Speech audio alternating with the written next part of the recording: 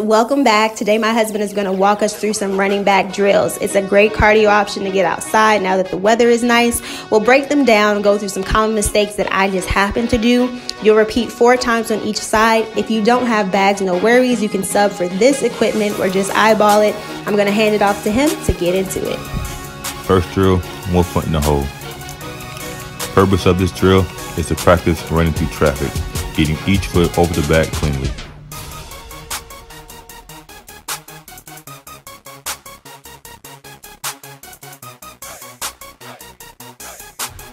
Second drill, two feet in a hole. We want to practice working in short spaces. How fast can we pick our feet up, getting in and out of the hole, once again avoiding hitting the bags.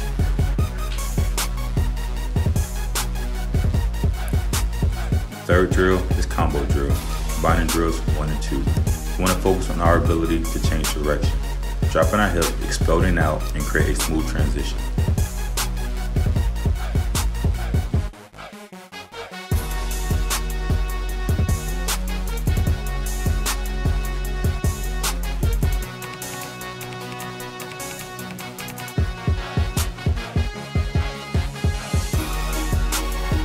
Fourth drill is another variation of running through traffic.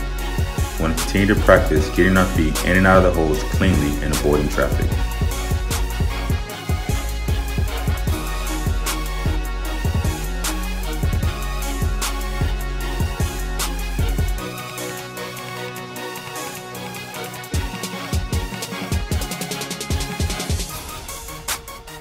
Fifth drill is jump cuts.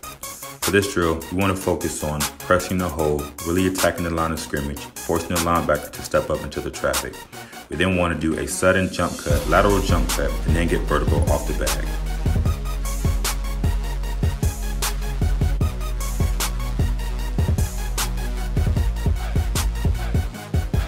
Like, subscribe, turn on post notifications, go off, sis. Remember to repeat this four times each side, and I will see you in the next one.